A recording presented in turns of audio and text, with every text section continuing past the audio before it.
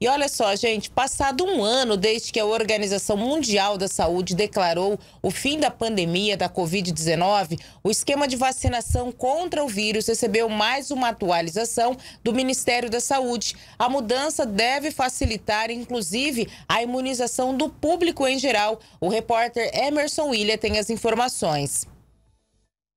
O esquema vacinal contra a Covid-19 foi atualizado pelo Ministério da Saúde. Sobre isso, vou conversar com a Humberta Zambuja, que é coordenadora da Central de Imunizações, que vai falar para a gente sobre essas mudanças.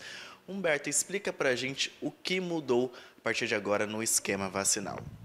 É, de acordo com a nota técnica do Ministério da Saúde, a gente teve essa alteração e nós já estamos né, colocando em prática essa nota técnica.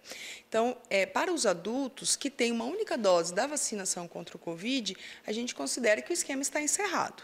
Então, nós recebemos né, nessa semana a vacina moderna, que é essa nova vacina americana que chegou. Qual a diferença dela? Ela tem na sua composição, além da cepa ancestral, que é a de Wuhan, ela tem também a cepa da Omicron. Então, ela chama né, XBB Moderna 1.5. Então, ela vem encerrar aí o esquema do, da Covid-19. Para os adultos que já têm alguma dose anterior, o esquema já está encerrado. Para adultos que não têm nenhuma dose, uma dose agora da XBB vai encerrar também o esquema vacinal, o adulto não vai mais se imunizar. Então, a novidade ficou para os grupos prioritários e para as crianças menores de 5 anos, que é rotina hoje a vacina contra a Covid para crianças. Então, para as pessoas acima de 5 anos, apenas as pessoas que pertencem a algum grupo prioritário, por exemplo, idosos, gestantes, puérperas e pessoas com imunossupressão, deverão se vacinar a cada é, seis meses com essa vacina moderna. Fora isso, o grupo prioritário, por exemplo, cardiopatia, pneumopatia, pessoas com deficiência, essas pessoas elas irão receber uma dose anual da vacina contra a Covid da XBB moderna. E para as crianças menores de 5 anos, continua mesmo esquema com três doses. Então, se a criança já tem duas doses da cepa ancestral, a gente vai aplicar uma dose de reforço com a XBB. E para quem já tem as três doses da, da vacina ancestral, a gente faz apenas um reforço com a XBB e também encerra o esquema de vacinação com a Covid-19.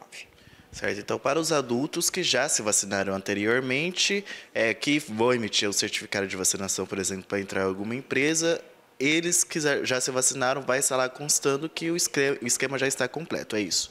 Exatamente. Então, se ele tem uma, duas ou três doses da vacina ancestral contra a Covid, ele já está considerado vacinado. O esquema dele está encerrado.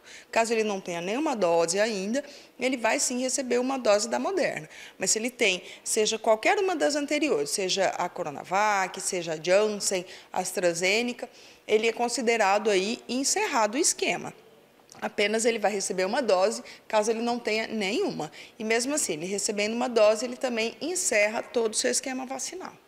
Qual o motivo o Ministério da Saúde apontou para essa nova mudança? É, sob controle, né, a epidemia, do, a, ou melhor, a pandemia contra a Covid sob controle no mundo e no Brasil, nós temos, né, graças a Deus e o esquema de vacinação, nós temos aí reduzidos os casos de hospitalização por Covid. Então, quem vem sendo hospitalizado? Pessoas que têm alguma deficiência, pessoas com imunossupressão, realmente as pessoas de grupos prioritários. Ou no caso das crianças, que são mais suscetíveis à doença e a é, forma graves, forma é, mais suscetível a desenvolver a forma forma grave do Covid, precisando vir a, a serem hospitalizados. Então, graças a isso, o esquema vacinal vai se concentrar, está se concentrando para as pessoas com maior suscetibilidade, ou seja, crianças menores de 5 anos e o público a partir de 5 anos, quem tem realmente alguma comorbidade, alguma imunossupressão, que são considerados grupos de risco. Então, para esse, sim, o esquema é diferenciado.